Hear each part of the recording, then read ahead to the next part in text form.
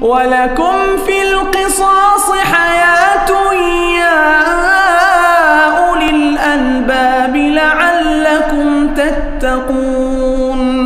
كتب عليكم إذا حضر أحدكم الموت إن ترك خيرا الوصية للوالدين والأقربين بالمعروف வரமத்துல்லாஹி வபரகாத்து கண்ணியத்திற்குரிய எல்லாம் வல்ல அல்லாஹுவின் நல்லடியார்களே ரமலான் மாத இரவு நேர சொற்பொழிவிலே நான்கு தலைப்புகளாக பிரிக்கப்பட்டு வணக்க வழிபாடுகள் குறித்தும் இஸ்லாத்தின் அடிப்படை தௌஹீத் கொள்கைகள் குறித்தும் தனிநபர் ஒழுங்குகள் குறித்தும் உங்களுக்கு எடுத்துரைக்கப்பட்டது. இறுதியாக மனித உரிமைகளும் மறுமை விசாரணையும் என்கின்ற தலைப்பில் சில செய்திகளை நாம் அறிந்து கொள்ள இருக்கின்றோம். புனிதமாக மதிக்கப்பட வேண்டிய மனித உயிர்கள் பல்வேறு காரணங்களால் அநியாயமான முறையிலே பறிக்கப்பட்டு வருகின்றது. இது உள்ளூரில் நடக்கின்ற சமாச்சாரம் மட்டுமல்ல ஒட்டுமொத்த உலகம் முழுவதும் மனித உயிர்கள் அநியாயமான முறையிலே பறிக்கப்பட்டு வருவதை அன்றாடம் நாம் பார்த்து வருகிறோம். காணாமல் போன ஒரு ஆட்டை தேடிச் சென்று தலித் சிறுவன் கோயிலுக்குள் நுழைந்து விடுகிறான்.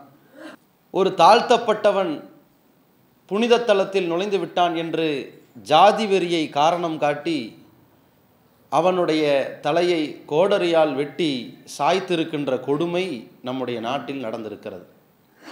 ஜாதி கொடுமைகளால் மனித உயிர்கள் பறிக்கப்படுகிறது ஒரு பக்கம். இரண்டாயிரத்திற்கும் மேற்பட்ட இஸ்லாமியர்கள் கொல்லப்படுகிறார்கள். இருநூத்தி ஐம்பதற்கும் மேற்பட்ட முஸ்லிம் பெண்கள் கற்பழிக்கப்பட்டு எரிக்கப்படுகிறார்கள். முஸ்லிம் பெண்களை கற்பழிக்க வேண்டாம் என்று அந்த களத்தில் இருந்து ஹிசாம் என்று சொல்லக்கூடிய ஒரு மானத்தை காக்கக்கூடியவன் தன் சமுதாயத்தின் உரிமைகளை காப்பதற்காக குரல் கொடுக்கிறான். அவன் விரட்டி அடிக்கப்பட்டு படுகொலை செய்யப்படுகிறார். அவருடைய குடும்பத்தை தேடி சென்று அங்கேயும் அவர்களை கொலை செய்கிறார்கள். ஒரு கட்டத்தில் சிலருடைய குடியிருப்புகளுக்கு சென்று தண்ணீர் தொட்டியிலே மின்சாரத்தை பாய்ச்சி அங்கே இருப்பவர்களை மின்சாரத்தால் தாக்கி சாகடித்திருக்கிறார்கள். இப்படியாக நடந்திருக்கின்ற கொடுமைகளில் ஒன்றாக ஒரு பெண் முஸ்லீம் என்கின்ற காரணத்தினால் ஐந்து மாத கர்ப்பிணி பெண் மிக கொடூரமான முறையிலே கற்பழிக்கப்படுகிறாள். அவரை சுற்றியுள்ள குடும்பத்தவர்கள் படுகொலை செய்யப்படுகிறார்கள். நம்மோடு எத்தனையோ பெண்கள் கொல்லப்பட்டிருக்கிறார்கள். நாமாவது உயிர் பிழைத்திருக்கிறோம். நீதி கேட்போம் என்று குஜராத்திலேயே மனு தாக்கல் செய்கிறார்கள். இந்த சதிகாரர்களால் மதவெறியை காரணம் காட்டி அரசியல் செய்த அந்த சங் பரிவாரர்களால் உடனடியாக வழக்கை திரும்ப பெறாவிட்டால் உன்னை கொலை செய்வோம் என்று மிரட்டப்படுகிறார். பிறகு அங்கிருந்து மகாராஷ்டிராவிற்கு சென்று வழக்கு போடுகிறார். அந்த வழக்கை தொடுத்ததற்கு பிறகு அது உச்சநீதிமன்றம் வரைக்கு செல்கிறது. இறுதியாக பதினைந்து ஆண்டுகள் பிடிக்கிறது. பதினைந்து ஆண்டுகள் கழித்து நீதிமன்றம் சொன்ன பதில் அவருடைய குடும்பத்தவர்கள் யாரும் கொல்லப்படவில்லை. எல்லோரும் தலைமறைவாகிவிட்டார்கள் என்ற ஒரு பதிலை சொல்கிறது. இப்படியெல்லாம் மதவெறியை காரணமாக்கி அரசியல் செய்யக்கூடிய சதிகாரர்கள் பறித்திருக்கின்ற உயிர்கள் அதன் எண்ணிக்கை பல்லாயிரம். இன்னொரு பக்கத்தில் ஹிட்லரனுடைய சர்வாதிகார ஆட்சியின் பிடியில் கிட்டத்தட்ட எண்பது லட்சம் உயிர்கள் பழிவாங்கப்படுகிறது. அறுபது லட்சத்திற்கும் அதிகமான யூதர்கள் படுகொலை செய்யப்படுகிறார்கள். உலகத்தில் எந்த நாட்டிலும் வாழ முடியாத ஒரு அச்சுறுத்தலுக்கு இரையான இந்த யூதர்கள் பாலஸ்தீனத்திலே குடிபெயர்கிறார்கள். அங்கே அவர்களுக்கு இரக்கத்தோடு இல்லம் கொடுத்திருக்கிற முஸ்லிம்களை கையகப்படுத்துகிறார்கள். அவர்களுக்கு நம்பிக்கை துரோகம் செய்கிறார்கள். ஒரு கட்டத்தில் இஸ்ரேலில் இருக்கின்ற முஸ்லிம் சமுதாயத்தின் இரண்டாவது கிபுலா புனித தலம் மஸ்ஜிதுல் அக்ஸாவை தனது கட்டுப்பாட்டின் கீழ் கொண்டு வந்து விடுகிறார்கள். தன்னுடைய வணக்க வழிபாட்டு உரிமையை இழந்து தவித்து கொண்டிருக்கின்ற பாலஸ்தீன சிறுவர்கள் முதல் இளைஞர்கள் வரை முதியவர்கள் வரை சகட்டு மேனிக்கு பல்லாயிரக்கணக்கானவர்கள் அல்ல பல லட்சக்கணக்கானவர்கள் ஆயிரத்தி தொள்ளாயிரத்தி இருபதாம் ஆண்டிலிருந்து இன்று வரைக்கும் படுகொலை செய்யப்பட்டு வந்து கொண்டிருக்கிறார்கள். இதன் கொடுமையின் உச்சம் நான்கு வயது சிறுமி பேசுகிறார். என்னை நோக்கி இஸ்ரேல் நாட்டு கொடியவன் துப்பாக்கி குண்டுகளால் என் கண்ணை பதம் பார்த்திருக்கிறான். ஒரு கண்ணை நான் இழந்திருக்கிறேன். இன்னொரு கண்ணில் அவன் முகம் நான் இன்னும் மறக்கவில்லை. அது என் நினைவிலிருந்து மறையவில்லை. ஆனால் நான் ஒரு செய்தியை கேள்விப்பட்டேன். நானாவது நாலு வயது சிறுமி. உலகத்தை இனி நான் பார்த்து கொள்வேன். எனக்கு முன்னால் வைக்கப்படுகிற ஆப்பிள் துண்டில் பாதிதான் தெரியுமோ என்ற சந்தேகமும் எனக்கு இருக்கிறது. இருந்தாலும் சமீபத்தில் ஒரு செய்தியை கேள்விப்பட்டேன். ஒன்பது மாத பச்சிலம் குழந்தையும் இப்படி துப்பாக்கி குண்டில் தாக்கப்பட்டிருக்கிறார். அந்த குழந்தை எப்படி வாழப்போகிறது என்பதை பற்றிய கவலைதான் எனக்கு இருக்கிறது என்று அந்த நான்கு வயது சிறுமி பேசுகிறார். ஒவ்வொரு நாளிலும் உலகம் முழுக்க வாழுகிற முஸ்லிம்கள் ஐங்கால தொழுகையை நிறைவேற்றுகிறார்கள் என்றால் இந்த அநியாயக்காரர்களால் அடக்குமுறை செய்பவர்களால் நம்பிக்கை துரோகிகளால் ஒவ்வொரு நாளிலும் ஜனாசா தொழுகையையும் சேர்த்து ஆறு வேளை தொழக்கூடியவர்களாக அங்கே முஸ்லிம்கள் இருக்கிறார்கள். இஃப்தாரின் பொழுது நோன்பை திறப்பதற்காக கூடியிருக்கின்ற முஸ்லிம் சமுதாயம் தனக்கு முன்னால் வைக்கப்பட்டிருக்கிற உணவு பண்டங்களை பார்த்து கொண்டிருக்கிற நேரத்தில் இந்த பாலஸ்தீனம் சிரியா போன்ற நாடுகளில் வாழுகிற முஸ்லிம் சமுதாயம் தனக்கு முன்னால் நிழலாக தன்னுடைய தந்தையை பார்க்கிறார்கள். தன்னுடைய உணவுத்தட்டுக்கு முன்னால் தன் இழந்துவிட்ட சகோதரனை சிந்திக்கிறார்கள். தன்னுடைய சொந்தக்காரர்களை பற்றி கண்ணீர் வடித்து கொண்டிருக்கிறார்கள். இப்படிப்பட்ட அடக்குமுறையாளர்களால் மனித உரிமை மீறல்கள் கட்டவிழ்க்கப்படுகிறது இது மட்டுமல்லாமல் ஒரு ஏழு வயது சிறுமி பாலியல் வக்கிர புத்தியின் காரணத்தினால் பாலியல் துஷ்பிரயோகத்திற்கு ஆளாக்கப்பட்டு கொல்லப்படுகிறாள்.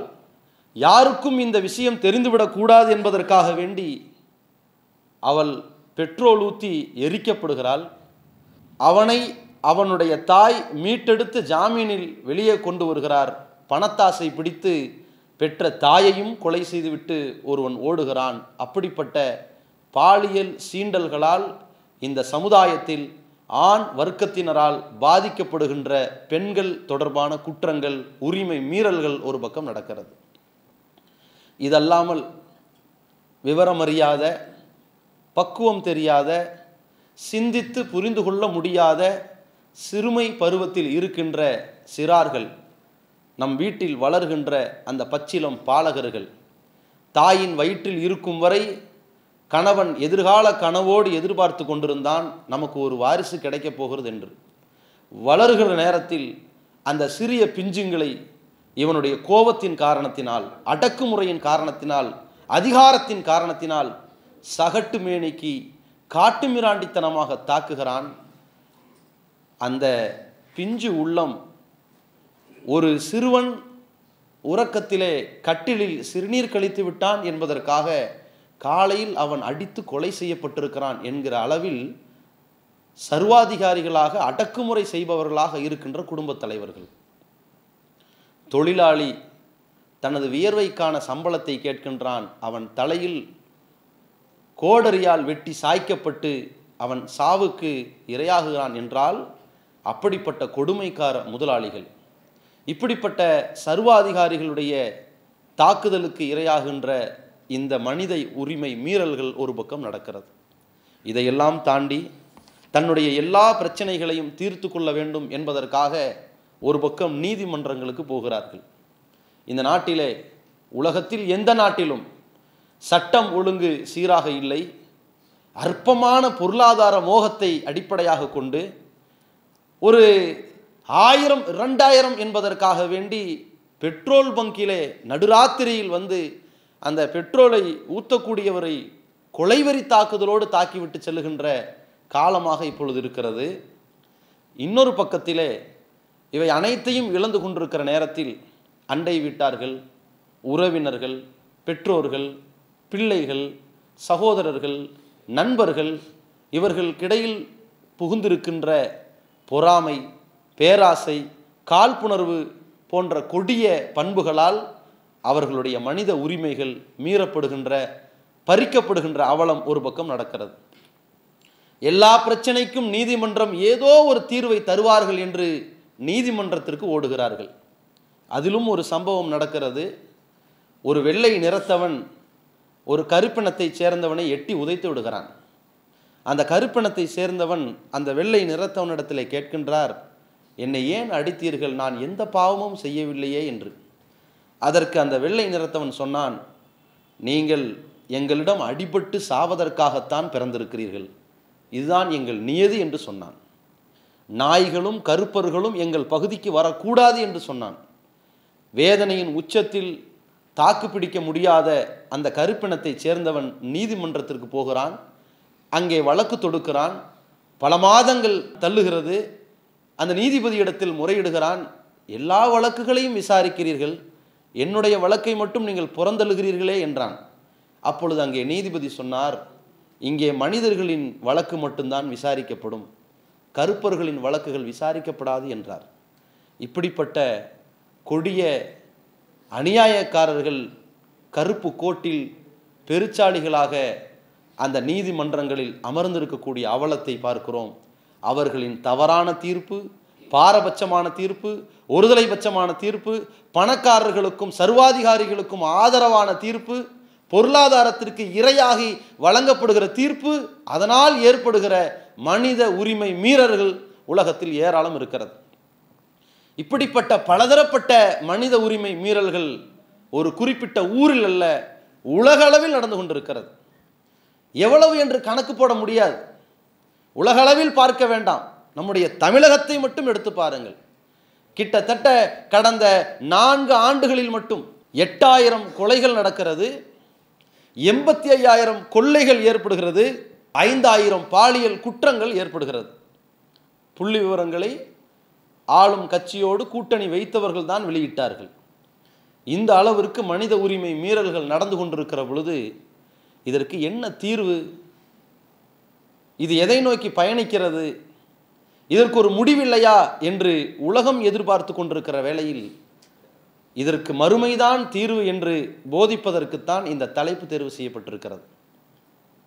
இந்த தலைப்பின் மூலமாக இந்த கொடிய பாவத்தில் ஈடுபடுகின்ற கொடுங்கோளர்கள் எந்த பக்கத்தில் இருந்தாலும் சரி அவர்கள் மறுமையை அஞ்சி திருந்த வேண்டும் என்று அவர்களுக்கு விடும் எச்சரிக்கைகளாக இந்த தலைப்பு இருக்கும். அதே நேரத்தில் இந்த உலகத்தில் பலதரப்பட்ட இழப்புகளுக்கு ஆளாகி இருக்கிற இந்த சமுதாயம் நமக்கென்று தீர்வு கிடைக்காதா என்று ஏங்கி தவிக்கின்ற சமுதாயம் எதிர்பார்ப்புகளெல்லாம் வீணாகி போயிருக்கிறதே நாம் ஏமாற்றத்திற்கு உள்ளாகி இருக்கிறோமே என்று புலம்பிக் கொண்டிருக்கிற நம் சமுதாயம். வாக்களித்து விட்டோம் ஒற்றை விரல் புரட்சி செய்திருக்கிறோம். மிகப்பெரிய அளவிலே இந்திய நாட்டில் ஜனநாயக அடிப்படையிலே ஒரு தீர்வு எட்டும் என்றெல்லாம் எதிர்பார்த்து கொண்டிருந்த சமுதாயம். எந்த அளவிற்கு என்றால் சமூக வலைத்தளங்களில் பதிவு செய்தார்கள்?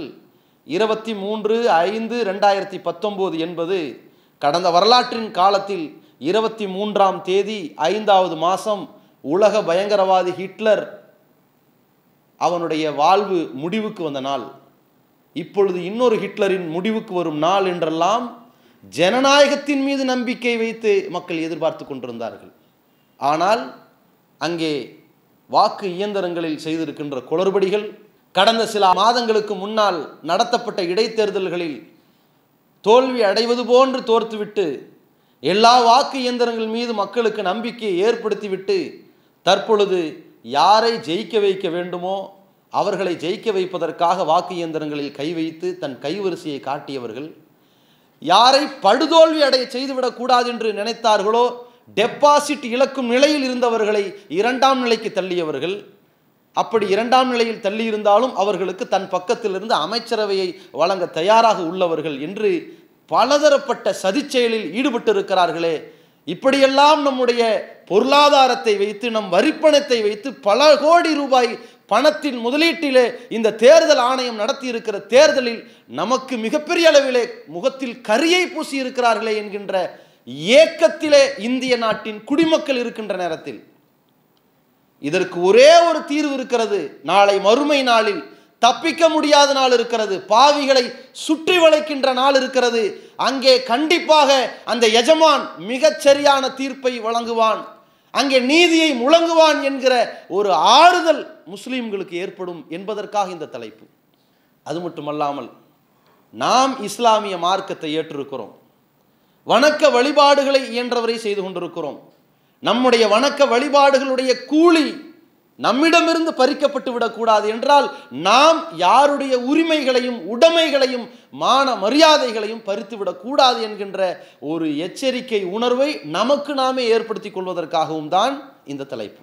முதலிலே இஸ்லாமிய மார்க்கம் எந்த அளவிற்கு இந்த மனித உரிமைகள் குறித்து அக்கறை காட்டுகிறது பிறர் நலனை நாடுவதில் எந்த அளவிற்கு அக்கறை காட்டியிருக்கிறது என்பதை பற்றிய பல செய்திகளை அறிந்துவிட்டு மனித உரிமை மீறல்கள் உலகத்தில் எப்படியெல்லாம் நடந்து கொண்டிருக்கிறது அதிலிருந்து விடுபடுவதற்கு எப்படிப்பட்ட ஒரு தீர்வை இஸ்லாம் சொல்லுகிறது என்பதை நாம் உணர்ந்தால் இஸ்லாத்தில் மட்டும்தான் மனித உயிர்கள் மிக மிக புனிதமாக மதிக்கப்படுகின்றது என்று பிற மதத்தவர்களால் இந்த மார்க்கம் கவனிக்கப்படுவதற்கு ஒரு வாய்ப்பாக இருக்கும்.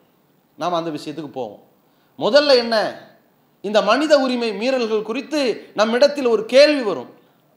சரி இதையெல்லாம் இந்த பாவிகளுக்கு நாம் எச்சரிக்கிறோமே? குரான் வசனங்களை எடுத்துரைக்கிறோமே? மறுமையை பற்றி அவர்களுக்கு அச்சுறுத்துகிறோமே? பயப்படுவார்களா? அவர்களுக்கு இறை நம்பிக்கை ஏற்படுமா? இரையச்சம் ஏற்படுமா? கொடியவர்கள் கொடுங்கோளர்கள் அவர்கள்ட்ட இதை சொல்லி என்ன புண்ணியம் என்று நினைக்கலாம். ஆனால் வல்ல இறைவன் அனுப்பி இருக்கின்ற எல்லா இறை தூதர்களையும் ஏகத்துவ கொள்கையை சொல்வதோடு அங்கே பாதிக்கப்பட்டிருக்கின்ற அந்த மக்களின் உரிமைகளுக்காக நலனுக்காக பறிக்கப்பட்டிருக்கிற உரிமையை மீட்பதற்காக பல்வேறு சட்டத்திட்டங்களையும் அறிவுரைகளையும் போதிக்க சொல்லி இருக்கின்றான் போதித்தது மட்டுமல்ல அவர்களிடத்திலே நீங்கள் மறுமை குறித்து எச்சரிக்கை செய்யுங்கள் என்றும் சொல்ல சொல்லியிருக்கிறான். வரலாற்றில் நாம் புரட்டி பார்ப்போமே. ஆனால் ஆது கூட்டத்திற்கு அனுப்பப்பட்ட நபி ஹூத் அலை இஸ்லாம் அவர்கள் அந்த கூட்டத்திற்கு அவர் தூதராக அனுப்பப்படுகிறார். அந்த தூதராக அனுப்பப்படுகிற நேரத்தில் இஸ்லாத்தை ஏற்றுக்கொள்ளாத மக்களிடத்திலே ஒரு கொடுமை நடந்து கொண்டிருக்கிறது. பலசாலிகள் ஜாம்பவான்கள் ஏழைகளை சாமானியர்களை போட்டு நசுக்குகிறார்கள். அவர்கள் மீது கட்ட பஞ்சாயத்து செய்கிறார்கள். அவர்களை கொடுமைப்படுத்தி தன்னுடைய கட்டுப்பாட்டின் கீழ் அடக்கி வைக்கிறார்கள். தாங்க முடியாத வழி அந்த ரணம் அதை ஆற்றுவதற்காக ஹூத் அலை இஸ்லாம் அவர்கள் அங்கே பிரச்சாரத்தை மேற்கொள்கிறார்கள். மக்களே யா கௌம் எழுபுதுல்லா அல்லாஹுவை வணங்குங்கள். மாலக்கும் இன் இலாகின் கயிறு அவனை தவிர உங்களுக்கு எந்த கடவுளும் இல்லை. வாத்தியூனி எனக்கு கட்டுப்படுங்கள் என்றெல்லாம் சொன்னார். கூடுதலாக ஏகத்துவத்தை சொன்னதோடு மனித உரிமைகள் குறித்து தலையிடுகிறார். இதா பதஷ்தும் பதஷ்தும் ஜப்பாரின். நீங்கள் ஒருவனை பிடித்தால் மிக கடுமையாக பிடிக்கிறீர்களே கொடூரமாக நடந்து கொண்டிருக்கிறீர்களே உயரமான இடங்களில் வீணான சின்னங்களை ஏற்படுத்தி நீங்கள் பெரிய ஜாம்பவான்கள் என்று காட்டிக் கொண்டிருக்கிறீர்களா? கேட்கிறார். அந்த வரிசையில் அவர் குறிப்பிடுகிறார் இன்னி அகாஃபு அலைக்கும் அதாப யோமின் பயங்கரமான நாளின் வேதனையை பற்றி உங்களிடத்தில் நான் அஞ்சுகிறேன். திருந்துங்க. அந்த நாளில் வந்து மாட்டிக்கொள்ளாதீர்கள் என்று மறுமை குறித்து மறுமை விசாரணை குறித்து மனித உரிமை மீறலில் ஈடுபட்ட அந்த மக்களுக்கு அவர் எச்சரிக்கை செய்தார். அதே நேரத்தில் மதியன் கூட்டத்திற்கு ஷுவைப் அலை இஸ்லாம் தூதராக தேர்வு செய்யப்படுகிறார். அந்த மக்களிடத்தில் இருந்த நிலை என்ன? பொருளாதார மோகம். மக்களுடைய பொருளாதாரத்தை சூறையாடுகின்ற மோசடி பழக்கம். வியாபாரத்திலே அளவு நிறுவைகளிலே அவர்கள் மோசடி செய்கிறார்கள். அதை சுட்டிக்காட்டி அவர்களை திருத்தி அவர்களை வழிநடத்துவதற்கு இந்த தூதர் நியமிக்கப்படுகிறார். ஒரு மனிதனுடைய உடைமைகள் பாதுகாக்கப்பட வேண்டும். இதை முழங்குவதற்கு தூதர் நியமிக்கப்படுகிறார். ஏகத்துவத்தோடு சேர்த்து இந்த சீர்திருத்த பணியில் அவர் இறங்குகிறார். அல்லாஹ் குறிப்பிடுகிறான் ஓ இலா மதியன அகாஹும் ஷுஐபா. மதியன் கூட்டத்தார்களுக்கு அதன் சம்பந்தப்பட்ட ஷுவைப் அலை இஸ்லாம் அனுப்பப்படுகிறார். கால அவர் சொல்கிறார் யா கௌமி அபுதுல்லா. மக்களே அல்லாஹுவை வணங்குங்கள். மாலக்கும் மின் இலாஹின் கைரு அவனையன்றி உங்களுக்கு எந்த கடவுளும் இல்லை. ஒலா தன்குசுல் மிக்கியால ஒல் மீசான் அளவு நிறுவைகளில் நீங்கள் குறைவை ஏற்படுத்தாதீர்கள். மோசடி பண்ணாதீங்க குறைச்சி கொடுக்காதீங்க. கூடுதலாக சொல்கிறார் இன்னி அராக்கும் பி ஹைர் உங்களை நான் நல்ல நிலையில் பார்க்கிறேன். நீங்கள் செல்வாக்காக இருக்கிறீங்க. வரக்கத்தா இருக்குது பொருளாதாரம்.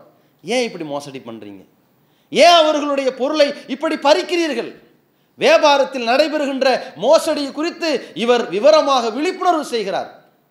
அப்பொழுது மறுமையை ஞாபகப்படுத்துகிறார். ஓ இன்னி அகாஃபு அழைக்கும் அதாப யோமின் முஹீத். சுற்றி வளைக்கக்கூடிய நாளின் வேதனையை பற்றித்தான் நான் உங்களிடத்தில் அஞ்சுகிறேன். அங்கே சுற்றி வளைக்கப்பட்டு நீங்கள் மாட்டிக்கொள்ளாதீர்கள் என்று சொல்லி அவர்களை திருத்துவதற்கு அல்லாஹ் அனுப்புகிறான்.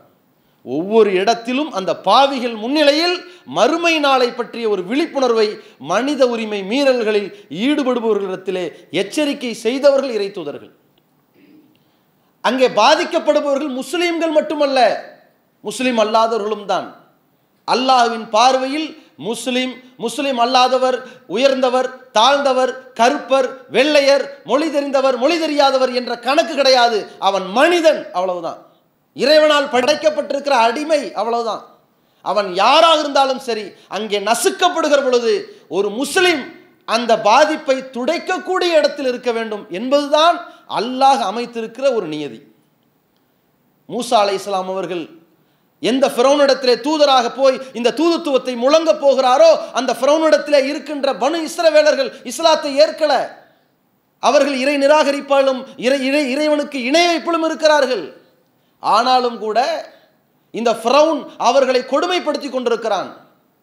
அல்லாஹ் சொல்கிறான் இது நஜ்ஜை நாக்கும் இன் ஆலி ஃபிரௌன் ஃபிரௌனுடைய கூட்டத்தாரிடமிருந்து நாம் உங்களை காப்பாற்றி இருக்கிறோமே. இஸ்ரவேலர்கள்ட்ட அல்லாஹ் கேட்குறான் எசு மூனக்கும் சூ அல்லாதாப் எத்தனை கொடுமைகளை கொடுத்து உங்களை துன்புறுத்தினார்கள்.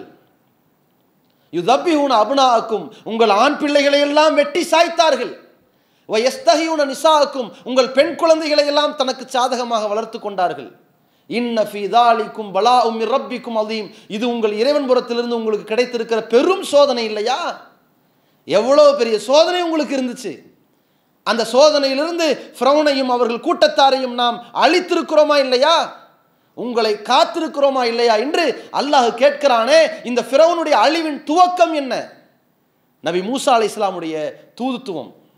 அங்கே மூசா அலை இஸ்லாம் அவர்களை அல்லாஹ் அனுப்புகிறான். தூதுத்துவ செய்தியோடு சேர்த்து இன்னொன்றையும் சொல்லித் தருகிறான். மூசா ஹாரூன் இருவரையும் அனுப்புகிறான். அல்லாஹ் சொல்கிறான் ஃபவுத்தியாகு ரெண்டு பேரும் அவன்கிட்ட போங்க. ஃப்ரௌன்ட்ட போங்க. அவன் வரம் மீறி இருக்கிறான்.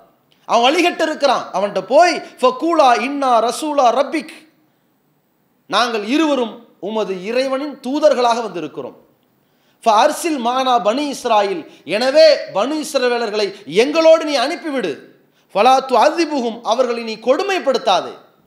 பனு இஸ்ரவேலர்களுடைய அடிமை சங்கிலியை உடைத்தெறிவதற்கு அனுப்பப்படுகிற அல்லாஹுவின் இரு தூதர்கள் மூசா ஹாரூன். போய் முழங்கினார்கள் பேசினார்கள்.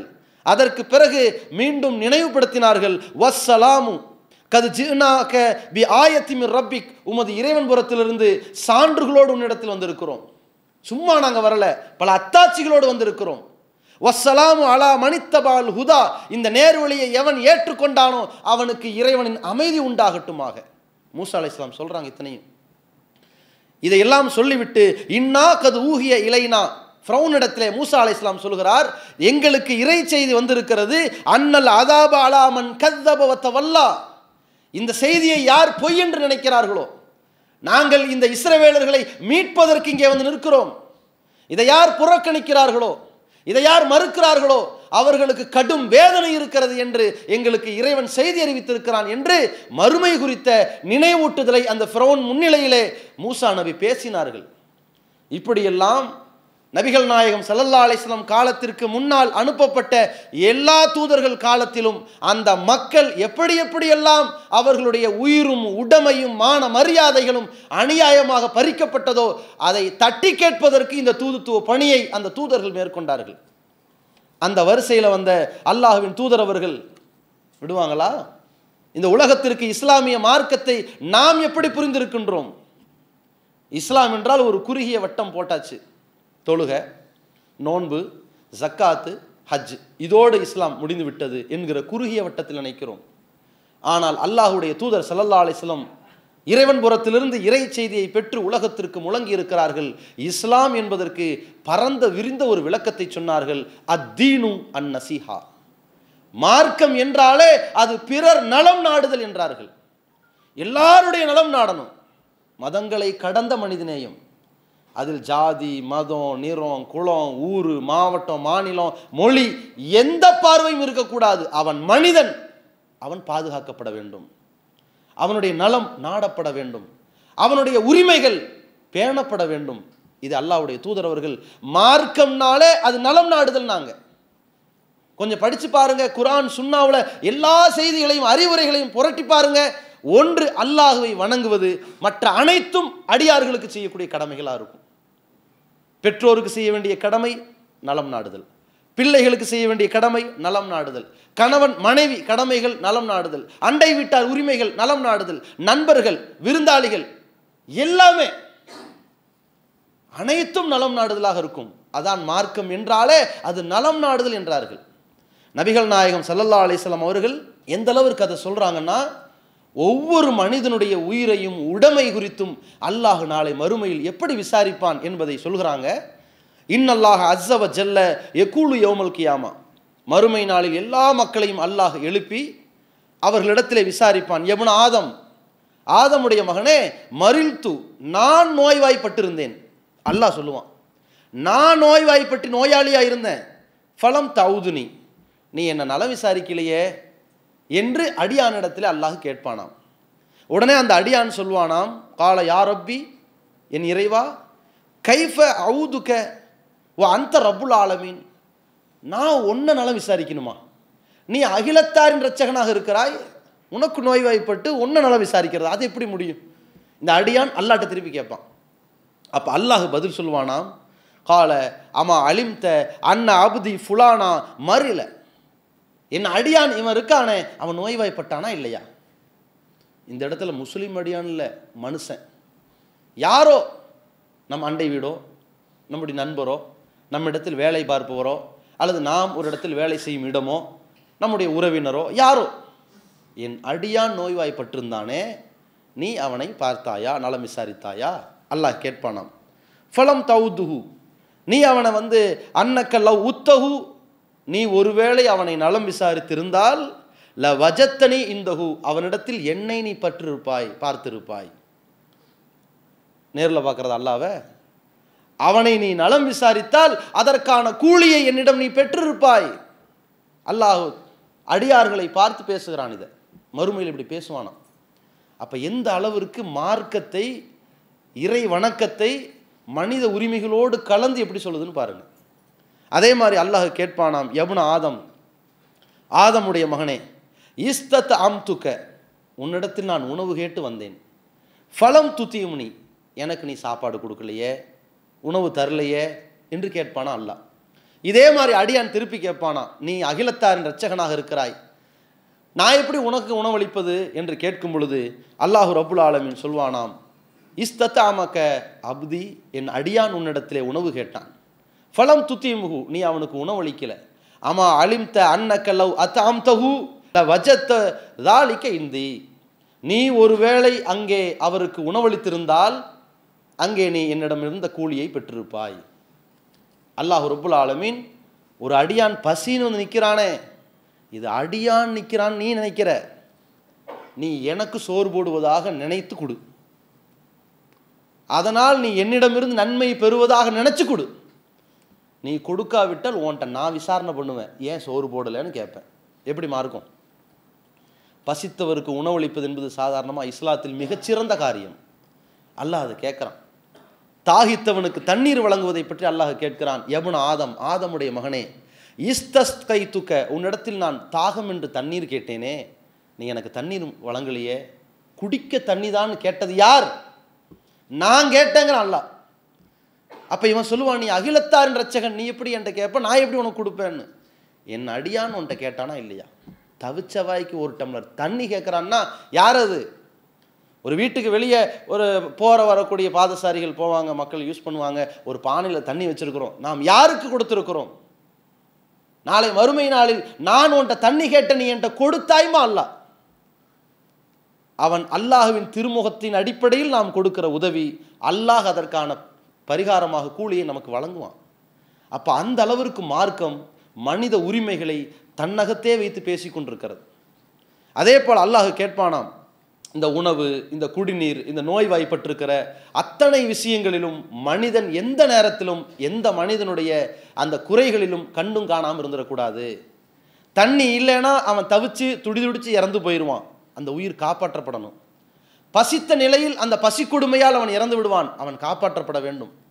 நோய்வாய்ப்பட்டிருக்கும் நிலையில் அவன் இறந்து போய் விடுவான். அவன் உயிர் பாதுகாக்கப்பட வேண்டும். அதற்குத்தான் அல்லாஹ் ரப்புல் ஆலமீன் அதை தன்னோடு சம்பந்தப்படுத்தி பேசுகிறான். அதே மாதிரி நபிகள் நாயகம் ஸல்லல்லாஹு அலிஸ்லாம் அவர்கள் உலகத்தை விட்டு பிரியக்கூடிய தருணம். இறுதி பேருரை. அல்லாஹுடைய தூதர் சல்லல்லா அலிஸ்லாம் அவர்கள் அந்த இறுதி பேருரைக்கு முன்னதாகவே கணித்து விட்டார்கள். ரபியுல் அவ்வல்ல மௌத்தாகிறாங்க சஃபர் மாதம் அதுக்கு முன்னாடி நோய்வாய்ப்பட்டிருக்கிறாங்க. மொஹர்ரம் அதற்கு முன்னதாக துல்ஹஜ்ஜு அதற்கு முன்னதாக ரமலான் அந்த சில மாதங்களுக்கு முன்னாடி. ரமலான் மாதம் ஜிப்ரில் இஸ்லாம் அவர்கள் அல்லாவின் தூதர் அவர்களை இரண்டு முறை குரானை ஓத சொன்ன உடனேயே நபி சொல்லா அலிஸ்லாம் ஒரு முடிவுக்கு வந்துட்டாங்க. இதோட நம்ம வாழ்நாள் முடிய போகுது. தெரிஞ்சுக்கிட்டாங்க. அல்லாஹும் கேட்டிருக்கிறான். நபிசல்லா ஸல்லல்லாஹு சொல்கிறாங்க எந்த ஒரு இறை தூதருடைய உயிரை வானவர்கள் பெறுவதற்கு முன்னால் பறிப்பதற்கு முன்னால் அல்லாஹ் அந்த தூதர்கள்ட்ட கேட்பானாம் உங்களுக்கு துன்யா வேணுமா? இல்லை மறுமை வேணுமா? என்று இரண்டில் ஒன்றை தேர்ந்தெடுக்க சொல்லி கேட்பானாம். எல்லா தூதர்களுமே இல்லை எனக்கு மறுமை தான் வேணும் என்று சொல்லிவிடுவார்களாம். அதே போன்று அவர்களுக்கு உயிர் பிரிந்துவிடும். அப்படின்னு ரசூல்லாய் ஸல்லல்லாஹு சொல்லிவிட்டு தனக்கு அவ்வாறு கேட்கப்பட்டதாகவும் அவர் மறுமையை தேர்ந்தெடுத்ததாகவும் மரணத்தை நோக்கி இருப்பதாகவும் ஒரு செய்தியை சஹாபாக்கள ரசூல்லா சொல்லிட்டாங்க. ஒரு கட்டத்தில் முவாத் பின் ஜபல் ரலியல்லானவர்களை யமன் தேசத்துக்கு அனுப்புகிறாங்க அவர் ஒட்டகத்தில் இருக்க நபிகளார் கீழே நடக்க அப்படியே கூட்டிகிட்டு வந்து ஊருக்கு வெளியே நிப்பாட்டி முவாதே நீ அடுத்த ஆண்டு நீ என்னை பார்க்க முடியாது. இந்த மஸ்ஜிது நபி பள்ளிவாசலை பார்க்கலாம். நான் அடக்கம் செய்யப்பட்டிருப்பேன். அப்போ பார்க்கலாம். அதைத்தான் பார்க்க முடியும். இப்படின்னு அனுப்பிட்டாங்க ரசூல்லா இதையெல்லாம் அனுமானித்து அல்லாஹுவின் தூதர் அவர்கள் ஹஜ்ஜு பெருநாள் ஹஜ்ஜினுடைய பேருரை நிகழ்த்துறாங்க இப்போ. இந்த ஹஜ்ஜு பேருரை எப்படி நிகழ்த்துறாங்க? மக்களே என்னிடமிருந்து நீங்கள் செல்விதாழ்த்தி கேட்டுக்கங்க. அடுத்த ஆண்டு நான் உயிரோடு இருப்பேனா இருக்க மாட்டேனா என்று எனக்கு தெரியாது என்று மக்கள்கிட்ட சொல்லி இது ஒரு இறுதி பேருரை. ஒரு தந்தை தன் மகனுக்கு இறுதி வசியத்தாக மரண சாசனமாக எவ்வளவு முக்கியமான தகவல்களை கோர்த்து சேர்த்து அவர் சொல்வாரோ அதுபோல ரசூலுல்லாய் சல்லா அலிஸ்லம் அந்த இறுதி பேருரையில் உலக மக்களுக்கு தேவையான எல்லா அறிவுரைகளையும் சொல்கிறார்கள். ஏன் தெரியுமா? நாம் யதார்த்தமாக பார்க்கும்போதே நமக்கு புரியும் அது சாதாரண களம் அல்ல. ஹஜ் என்பது அவனுடைய அந்த இபாதத்தின் காரணத்தினால் அன்று பிறந்த பாலகன் போன்று அவனை மாற்றுகிற தருணம். அந்த களத்தில் ஒரு அறிவுரையை கேட்கும் பொழுது யாருடைய உள்ளத்திலும் இனிமேல் நம்முடைய வாழ்க்கையில் மிகச் சரியாக நடக்க வேண்டும் என்று பாடம் கற்றுக்கொள்ளுகிற இடம். அல்லாவின் தூதர் அந்த இடத்தையும் பயன்படுத்தி கொண்டார்கள். தன்னுடைய நிலையையும் அனுசரித்து மக்களுக்கு முழங்கினார்கள். முழங்கிய எல்லா செய்திகளும் மனித உரிமைகள் பற்றி பேசினார்கள். அதில் அழகாக சொன்னார்கள் இன்ன திமா அக்கும் உங்களுடைய உயிர் ரத்தம் ஓ அம்பாலக்கும் உங்களுடைய பொருளாதாரம் உடைமைகள். ஓ ஆராதக்கும் உங்களுடைய மான மரியாதைகள். ஹராம். புனிதமானது. கஹுர்மி யௌமிக்கும் ஹாதா. இந்த நாள் எவ்வளவு புனிதமானதோ ஒஃபி ஷஹரிக்கும் ஹாதா. இந்த துல்ஹஜ் மாதம் எவ்வளவு புனிதமானதோ ஒஃபி பலதிக்கும் ஹாதா. இந்த நகரம் எவ்வளவு புனிதமானதோ அதுபோல உங்களுடைய ரத்தம் மானம் உடைமைகள் புனிதம் நாங்கள் சொல்லலாம் மக்கமா நகரம் அது பாதுகாக்கப்பட்ட நகரம். இது என்றென்றும் பாதுகாக்கப்படும் என்று அல்லாஹுவால் வாக்களிக்கப்பட்ட நகரம். அந்த நகரத்தை நோக்கி எப்படிப்பட்ட கயவர்கள் சூழ்ச்சிக்காரர்கள் சென்று அந்த காபாவை சிதைக்க வேண்டும் சின்னாபின்னமாக்க வேண்டும் என்று முடிவெடுத்தாலும் அந்த முடிவு பலவீனமாக முடங்கி போகின்ற வகையில் அந்த ரப்புல் ஆலமீன் அந்த நகரத்தை பாதுகாத்து கொண்டிருக்கின்றான். அல்லாஹ்வின் தூதர் கூட ஒரு கட்டத்தில் காபாவை பார்த்து இலக்கியமாக பேசினார்கள். அல்லாவுக்கு பூமியில் மிக விருப்பமான சிறந்த ஒரு இடம் இருக்கும் என்றால் அது நீதான். இந்த காஃபிர்கள் என்னை இந்த நாட்டிலிருந்து இந்த பகுதியிலிருந்து விரட்டி இருக்காவிட்டால் நான் உன்னை விட்டு போயிருக்க மாட்டேன் என்றார்கள். அப்படிப்பட்ட புனித பூமி அபய பூமி பாதுகாக்கப்பட்ட பூமி அல்லாஹுவினுடைய பாதுகாப்பை பெற்றிருக்கிற பூமி எவ்வளவு புனிதமோ அது மாதிரி ஒவ்வொருவருடைய உயிர் புனிதம் என்று மார்க்கம் சொல்கிறது. ஒவ்வொருவருடைய மான மரியாதை புனிதம் என்று சொல்கிறது ஒவ்வொருவருடைய உடைமைகள் பொருளாதாரம் புனிதம் என்று சொல்கிறது இது அநியாயமாக பறிக்கப்படக்கூடாது என்பதால் இதை சொல்கிறது அல்லாஹ்வுடைய தூதர் அவர்கள் இவ்வளவு பேசுகிறாங்க அது மட்டும் இல்லாமல் இந்த மனிதர்களுடைய நலம் நாடுதல் குறித்து எத்தனையோ சிறப்புகளை சொன்னாங்க. அல்லாவின் தூதர் ஸல்லல்லாஹு அலிஸ்லாம் அவர்கள் குறிப்பிடுறாங்க அஸ்ஸாயி அலல் அர்மலத்தி. விதவைகளுக்காக வேண்டி யார் உழைக்கிறாரோ ஒல் மிஸ்கின் ஏழைகளுக்காக யார் உழைக்கிறாரோ? கல் முஜாஹிதி ஃபி சபீல் இல்லாஹி அவன் அல்லாஹ்வுடைய பாதையிலே யுத்தம் செய்யக்கூடிய போராளிக்கு சமம் என்றார்கள். இறை பாதையிலே அறப்போரில் ஈடுபடக்கூடியவன் அந்த யுத்த களத்தில் இரத்த வெள்ளத்தில் எதிர்நோக்குகிறது வெற்றி அல்லது வீரமரணம். இதற்கு சமமான ஒரு செயல் என்ன தெரியுமா? கைவிடப்பட்ட ஒரு பெண் அந்த விதவை பெண்ணினுடைய வாழ்க்கைக்காக செலவுக்காக அர்ப்பணிப்புக்காக அத்தனை தேவைகளை நிறைவேற்றுவதற்காக உழைக்கின்ற ஒருவன் முஜாஹிதாகிறான். ஏழைகள் அவர்களால் எழுந்து நிற்க முடியாத நிலையில் இருக்கிற கீழ்த்தட்டு மக்களை உயர்த்துவதற்காக கஷ்டப்பட்டு கொண்டிருப்பவன் முஜாஹிதாக இருக்கிறான். முஜாஹித் மட்டுமல்ல அல்லாஹுடைய தூதர் பிறகு சொல்கிறார்கள் அவ் கல்லதி எசு முன்னஹார் அல்லது ஒருவன் பகல் முழுக்க நோன்பு வைத்து ஒ எக்கும் உள்ளையில் இரவெல்லாம் தொழுகிறானே அப்படிப்பட்ட ஒரு வணக்கசாலிக்கு சமமானவன். பகல் முழுக்க நோன்பு வைக்கிறான்னா அவன் நரகத்தை விட்டு எழுபது ஆண்டுகள் தள்ளி போகிறான். அல்லாஹ் அவனை தூரமாக்கி விடுகிறான். இரவு முழுக்க ஒருவன் தொழுகிறான் என்றால் அவன் யார்? அல்லாஹ்வின் தூதர் சொன்னார்களே அப்சு சலாம் சலாத்தை பரப்புங்கள்.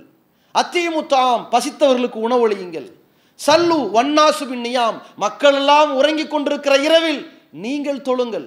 சிலுல் அருகாம் உறவுகளை இணைத்து வாழுங்கள். ததுகுலுல் ஜென்னத்தை பிசலாம் இலகுவாக சொர்க்கத்தில் நுழைந்து விடுங்கள் என்றார்கள் சொல்லலாம் நம்மை சுவனத்தை நமக்கு உறுதிப்படுத்தும் காரியத்தில் ஒன்று இரவு தொழுகை. அந்த இரவெல்லாம் தொழுதவனை போல பகலெல்லாம் நோன்பு வைத்த ஒரு வணக்கசாலிக்கு சமமாகி விடுகிறான் யார்? ஏழைக்கும் விதவைக்கும் பாடுபடக்கூடியவன். இந்த மார்க்கம் எங்கே போய் பிறர் நலம் நாடுதல் அவர்கள் உரிமையை காப்பாற்றுதல் போய் நிப்பாட்டுதுன்னு பாருங்க. அல்லாஹ்வுடைய தூதர் சல்லல்லா அலிஸ்லாம் அவர்கள் இன்னொரு இடத்துல குறிப்பிடுறாங்க. சஹாபாக்கள் சொல்றாங்க அமரனா நபி சல்லல்லா அலிஸ்லாம் பி சபையின் ஓ நஹானா அன் சபையின். அல்லாவின் தூதர் ஏழு விஷயங்களை எங்களுக்கு கட்டளையிட்டார்கள் ஏழு விஷயங்களை விட்டு எங்களை தடுத்தார்கள். கட்டளையிட்ட ஏழு விஷயங்கள் என்ன? ஃபதக்கர ஐயாதத்தல் மரீல் நோயாளிகளை நலம் விசாரிக்க வேண்டும் என்று சொல்லி கொடுத்தார்கள். யாராக இருந்தாலும் சரி எந்த மதத்தவர்களாக இருந்தாலும் சரி இங்கே மதமெல்லாம் கிடையாது இங்கே. நோயாளிகளை நலம் விசாரிக்க வேண்டும். இதை எங்களுக்கு கட்டளையிட்டார்கள். வத்திபாயில் ஜனாயிஸ். ஜனாசாவை பின்தொடர வேண்டும். இப்போ வரும்போது என்ன வரும்? அல்லாவுடைய தூதர் அவர்கள் அதற்கான சிறப்புகளையும் நன்மைகளையும் சொல்லிட்டாங்க. ஜனாசாவை பின்தொடர்ந்தால் ஒரு கீராத் நன்மை இருக்கு. தொழுகை முடிந்து அடக்கம் செய்யப்படும் வரை இருந்தால் இன்னொரு கீராத் நன்மை உகது மலை அளவு உள்ள நன்மை கிடைக்கும் சொன்னாங்க. ஒருவன் உயிரோடு இருக்கும் பொழுது அவன் நலம் நாடுவது போல இறந்து விட்ட பிறகும் அவனுக்கு கேட்பதற்கு நாதி இல்லை. அவனை பார்ப்பதற்கோ அவனை தூக்குவதற்கோ அவனை துடைப்பதற்கோ அவனுக்கு ஆடை உடுத்தச் செய்வதற்கோ ஆளில்லை என்கின்ற ஒரு நிலை இறந்து போன மையத்துக்கு ஏற்படக்கூடாது. அல்லாஹின் தூதர் அந்த நலம் நாடுதலில் எப்படி ஒரு மார்க்க சட்டத்தை சொல்கிறார்கள்? அதற்கு பிறகு சொல்கிறாங்க தஸ்மியத்தல் ஆதிஷ் தும்மக்கூடியவன் அல்ஹம்துல்லா என்பான். அவனுக்கு நீ பதில் சொல்ல வேண்டும். எர்ஹமுக்கல்லா அல்லாஹ் உனக்கு அருள் புரிவானாக. என்று அவனுக்கு நீ அருளை கேள். இப்படி நலம் நாடுவது. ஒரு அத்த சலாம் சலாத்திற்கு பதில் சொல்ல வேண்டும். சலாத்தை பரப்பணுங்கிறது அறிவுரை. உனக்கு சலான் சொல்லப்பட்டால் நீ பதில் சொல்லாமல் போயிடாது பாவமாக போயிடும் அவன் உனக்கு அஸ்ஸலாம் அழைக்கும் உங்கள் மீது அல்லாவுடைய அமைதி உண்டாகட்டும் நமக்கு துவா செய்கிறான் கண்டும் காணாமல் போனால் இது எவ்வளோ பெரிய பாவம்? அல்லாஹ்வுடைய தூதர் உத்தரவு போடுறாங்க உனக்கு சலாம் சொல்லப்பட்டா அழகா நீ பதில் சொல்லு. ஓ அழைக்கும் சலாம் உன் மீதும் அந்த அமைதி உண்டாகட்டும்னு அமைதியை பரப்பு. எப்படி மாறுக்கும் அதே மாதிரி ரசூலா இஸ்லாம் சொல்கிறாங்க ஓ நஸ்ரல் மதுலும் பாதிக்கப்பட்ட அநீதி இழைக்கப்பட்டவனுக்கு உதவி செய்ய வேண்டும் என்றார்கள். ஓ இஜாபத்த தாயி விருந்துக்கு அழைப்பவனை அந்த அழைப்பை ஏற்றுக்கொள்ள வேண்டும். ஓ இப்ராரல் மூக்குசிம் ஒருவன் சத்தியம் செய்து விட்டான். ஒரு நற்காரியம் செய்வதாக சத்தியம் செய்கிறான் என்றால் அந்த சத்தியத்தை நிறைவேற்றுவதற்கு அவனுக்கு உதவி செய்ய வேண்டும். இப்படி ஏழு விஷயங்களை அல்லாஹ்வுடைய தூதரவர்கள் போதித்திருக்கிறார்கள். இதில் ஒவ்வொன்றா பாருங்க ஏகப்பட்ட விஷயங்கள் அனைத்துமே நலம் நாடியதாக ஒரு மனிதனின் உரிமையை மீட்பதற்காக அல்லது ஒருவனுடைய வாழ்க்கையை அவனுக்கு நல்ல நிலையில் அமைத்து கொடுப்பதற்காக ஒரு நோயாளிக்கு கை நீட்டுவதற்காக இருக்கக்கூடிய அம்சங்களாக இருக்கும். நபிகள் நாயகம் சல்லா அலிஸ்லாம் அவர்கள்ட்ட சஹாபாக்கள் கேட்குறாங்க இஸ்லாத்தில் ரொம்ப சிறந்தது எது? அல்லாவுடைய தூதர் அவர்கள் இந்த பிறர் நலம் நாடுதலையெல்லாம் சொன்னாங்க. ஒரு கட்டத்தில் சொன்னாங்க அலா குள்ளி முஸ்லிமின் சதக்கா ஒவ்வொரு முஸ்லிமின் மீதும் தர்மம் செய்வது கடமை என்றார்கள். தர்மம் செய்யணும். ஜக்காத்துங்கிறது குறிப்பிட்ட அளவு தாண்டியதற்கு பிறகு குறிப்பிட்ட நபர்களுக்கு செய்யக்கூடிய வணக்கம். மற்ற தர்மம் இருக்கிறதே ஒவ்வொரு முஸ்லிமின் மீதும் இருக்கிறது என்றார்கள். உடனே சஹாபாக்கள் கேட்குறாங்க யா நபி அல்லாஹி ஃப மல்லம் யஜித் யாருக்கு வசதி இல்லையோ? அவர் எப்படி தர்மம் செய்வார்? அப்போ அல்லாவுடைய தூதர் சொல்கிறாங்க யாமலுபி எதிஹி ஃப என்ஃபாவு நஃப்சஹு வயத்த சத்தக்கு அவன் தனது கையால் உழைத்து தனக்கு பயனடைந்து அதற்கு பிறகு இருப்பதில் தர்மம் செய்வான் என்றார்கள். உடனே சஹாபாக்கள் கேட்குறாங்க இப்போ இல்லம் எஜித் அப்படி ஒரு நிலை அவனுக்கு இல்லை. உழைச்சி சம்பாரித்து தானும் நல்லா இருந்துக்கிட்டு மற்றவங்களுக்கு உதவி செய்கிற நிலை இல்லை. அப்படிப்பட்ட நிலையில் வந்தால் என்ன செய்யறது? ரசூல்லாட் பதில் சொல்கிறாங்க யொழினுதல் ஹாஜத்தில் மல்ஹூஃபா. அநீதி இழைக்கப்பட்டவன் ஒரு தேவை வேண்டி வருவானே அவனுக்கு உதவி செய்ய வேண்டும். இப்படின்னு ரசூல்லா சொல்கிறாங்க உடனே சஹாபாக்கள் கேட்குறாங்க ஃப இல்லம் யஜித். அந்த சூழ்நிலையும் இல்லை. அப்போ என்ன செய்யறது அப்போ ரசூலா இஸ்லாம் சொல்கிறாங்க ஃபல் யாமல் பில் மாரூஃப். அப்படின்னா அவன் நல்ல காரியம் செஞ்சுக்கிட்டு இருக்கட்டும். வல் யும்சிக் அனி ஷர் யாருக்கும் தீங்கிழைக்காமல் பேசாமல் இருக்கட்டும். நீ உபகாரம் செய்யாட்டியும் பரவாயில்லப்பா உபத்திரம் செஞ்சிடாத என்று நம்ம சொல்லுவோமே இது அல்லாஹுவின் தூதரின் உபதேசம் அது. இது ஒரு நலம் நாடுறது தானே? உன்னால் அடுத்தவனுக்கு நல்லது செய்ய முடியல. நல்லது செய்கிறது சதக்கா. நல்லது செய்கிற அளவுக்கு உனக்கு முடியலையா? கெட்டதை செய்யாமல் இருந்தால் சதக்கா. எப்படி? அப்போ எந்த அளவிற்கு அந்த நலம் நாடுதலை அல்லாஹ்வுடைய தூதரவர்கள் மார்க்கத்தின் பலதரப்பட்ட வரையறைகளாக அங்கங்களாக கொண்டு வந்து சொல்கிறாங்கன்னு பாருங்கள் இந்த வரிசையில் மனித குலத்திற்கு எதுவெல்லாம் நல்லது செய்யுமோ அந்த விஷயத்தில் அல்லாஹ்வின் தூதர் அதிகம் கவனம் செலுத்துகிறாங்க இது இறை மார்க்கம் இறைவனின் மார்க்கம் அப்படி தான் சொல்லும். இப்போ உதாரணத்திற்கு ஒரு மரத்தை எடுத்துக்குங்க. மரம் நமக்கு என்ன தருகிறது? நிழல் தருகிறது குளிர்ச்சியை தருகிறது உண்பதற்கு காய்களை தருகிறது ருசிப்பதற்கு கனிகளை தருகிறது வண்ண மலர்களை தருகிறது காய்ந்த சிறகுகள் உரமாக போகிறது நம்முடைய சுவாசிப்பதற்கு ஆக்சிஜனை தருகிறது நாம் வெளியே விடுகின்ற காற்றை உள்வாங்கி பூமியின் சூட்டை குறைக்கின்றது இது அல்லாமல் அதனுடைய வேர் பூமியிலே பிரிந்து படர்ந்து வளர்ந்து கொண்டிருக்கிற காரணத்தினால் நிலச்சரிவை தடுக்கிறது. கடல் ஓரங்களில் வளர்கின்ற அலையாத்திகளாக இருக்கின்ற வேர்களெல்லாம் சுனாமி பேரலைகளை எல்லாம் தாக்குப்பிடிக்கின்ற அலையாத்தி காடுகளாக அமைகிறது. பெரிய பெரிய மரங்கள் ஒரு கட்டத்திலே வீழ்ந்து விட்டாலும் கூட நமக்கு ஜன்னல்களாக கதவுகளாக முகடுகளாக பயனளிக்கிறது. ஒரு ரப்பர் மரம் என்று வரக்கூடிய அந்த ரப்பர் கிடைக்கக்கூடியதை வைத்து ஏராளமான பொருட்களை கொண்டு போகிறோம். அதில் வைத்து சக்கரங்களை தொகுக்கிறோம். அந்த சக்கரங்களை தயாரித்து வாகனங்கள் மட்டுமல்லாமல் விமானங்கள் வரைக்கும் பறக்கிறது. விமானம் பறப்பதற்கும் இந்த மரமும் ஒரு காரணமாக அமைகிறது. இதெல்லாம் தாண்டி இந்த மரம் நமக்கு மழையையும் தருகிறது. இவ்வளவு இருக்குல்ல? மரம் நடுக பயன் பெருக மழை பெருகன் ஏராளமான விளம்பரங்கள். அல்லாஹுவின் தூதர் சல்லல்லா அலிஸ்லாம் அவர்கள் இந்த மரங்களுடைய நன்மைகளையெல்லாம் உலகம் அறிந்திருக்கிறது. இதையும் தாண்டி ஒரு நன்மை இருக்கிறது. அந்த மரத்தை நம்ம நடுறோம்னா நமக்கே தெரியாமல் சில கால்நடைகள் அதை சாப்பிடும். நமக்கே தெரியாமல் சில பறவைகள் கொத்தி செல்லும். அது நமக்கு தர்மமாக அமையும். அல்லாஹுடைய தூதர் அவர்கள் சொல்கிறாங்க இன்காமத்தி சா உலக அழிவு நாள் ஏற்பட்டு கொண்டிருக்கும் பொழுது உலகம் இப்போ அழிஞ்சுக்கிட்டு இருக்குது. அந்த நேரத்தில் ஒபி எதி அகதிக்கும் ஃபசீலா. உங்கள் ஒருவர் கையிலே மரக்கன்று இருக்குமானால் இனிஸ்தத்தா அல்லா எக்கூம ஹத்தா எகிரிசஹா அதை நடுவதற்கு அவருக்கு இயலுமானால் ஃபல் எஃபல் உடனே அந்த மரக்கன்றை நட்டு விடட்டும் என்றார்கள். எந்த நேரத்திலங்க? உலகம் இப்போ அழிஞ்சுக்கிட்டு இருக்கு. எல்லாரும் ஓடுவார்கள் பதறுவார்கள். இந்த நேரம் இருக்கிறது. இந்த நேரத்தில் நடப்படுகிற கன்றுகள் பயனளிக்காமலும் போகலாம். அது மரமாக உருவெடுக்காமலும் போகலாம். ஆனால் இந்த செயல் எவ்வளவு முக்கியமான செயல்? அல்லாவுடைய தூர் சொல்கிறார்கள் இன்காமத்து சா அந்த உலக அழிவு நாள் நடக்கும்போது உன் கையில் மரக்கன்று இருக்குதா? நட்டிட்டு போனாங்கிற சொல்லலாம் ஏன்? அதனால் மனித குலத்திற்கு பயனாக இருக்கிறது. மனிதர்களின் நலனில் இவ்வளவு விஷயங்கள் சொல்லப்படுகிறது. இது மட்டுமல்லாமல் மனிதர்களின் நலனில் அக்கறை செலுத்தியவர்கள் அவர்களின் உரிமைகளை பாதுகாத்தவர்கள் அவர்களுக்காக ஏராளமான பொருளாதாரங்களை வாரி வழங்கியவர்கள். இவர்களுக்கான மறுமை வாழ்வு எப்படி சுபீட்சமாக இருக்கும் என்பதற்கு ஒரு சம்பவத்தை அல்லாஹுடைய தூதர் சொல்கிறாங்க ஹதீஸில் வருகிறது சஹியுல் புகாரி முஸ்லீமில் பார்க்கலாம். அல்லாஹுடைய தூர் சொல்கிறாங்க தலக்கத்தில் மலாயிக்கத்து ரூஹ ரஜுல். வானவர்கள் ஒரு மனிதருடைய உயிரை சந்திக்கிறார்கள் அந்த ரூஹை சந்திக்கிறாங்க.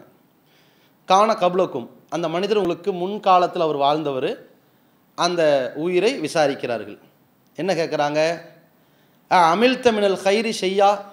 எப்பா ஏதாவது நீ நன்மை செஞ்சுருக்கிறியா? இது அந்த ரூஹுட்ட கேட்குறாங்க வானவர்கள். அதற்கு அவர் ஒரு அழகான பதிலை சொல்கிறார்.